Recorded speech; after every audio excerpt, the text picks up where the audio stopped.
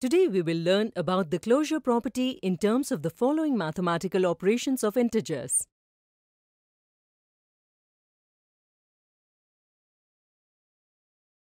One day a math teacher told his students, if someone can tell him about two integers whose sum is not an integer, they will get a chocolate. Within seconds, all the children started looking for those two integers with full enthusiasm. Some added two positive integers. Some added two negative integers. Some added one positive integer and one negative integer. But no one obtained integers whose sum is not an integer. In each case, they obtained the result an integer. Seeing the children getting confused, the teacher said, the sum of any two integers is always an integer, so you will not be able to find two integers whose sum will not be an integer. The children were annoyed on hearing that.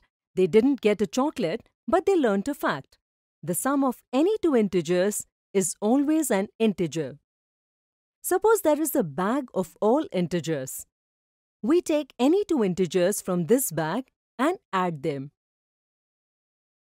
If the result obtained is the number inside this bag, then we say that integers are closed under addition. Since the sum of integers yields a number from the group of integers, we say that the integers are closed under addition.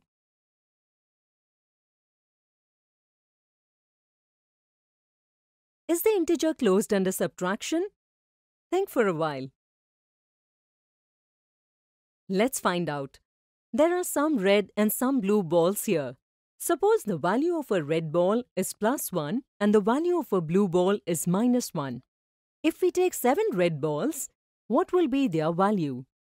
Since we have taken the value of one red ball as plus 1, the value of 7 red balls will be plus 7. If we take out 3 red balls from these, then it will mean we are subtracting plus 3 from plus 7. After subtracting, there are now 4 red balls left which have a value of plus 4.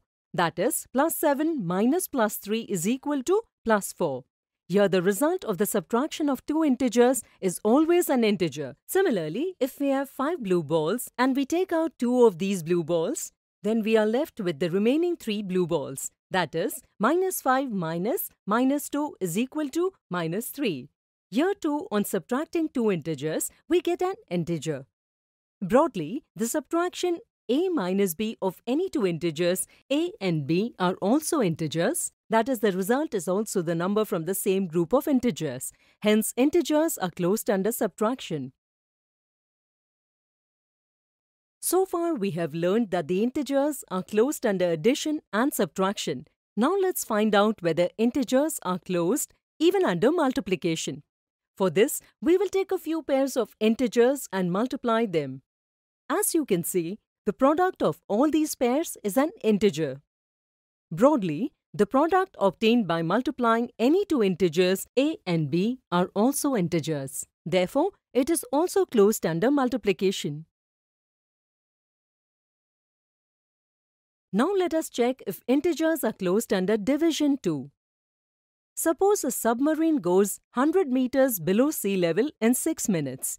If we express the distance measured in the downward direction with a minus sign, then after 6 minutes the position of submarine will be represented as minus 100. Now if we have to find out at what rate the submarine goes down, for this we have to divide minus 100 by 6. This will result in minus 100 divided by 6 or we can write it like this. This number is not an integer. Broadly, the result obtained from the division of any two integers is not an integer in every case. Therefore, integers are not closed under division. In this way, you now know that the integers are closed under addition, subtraction and multiplication but not closed under division.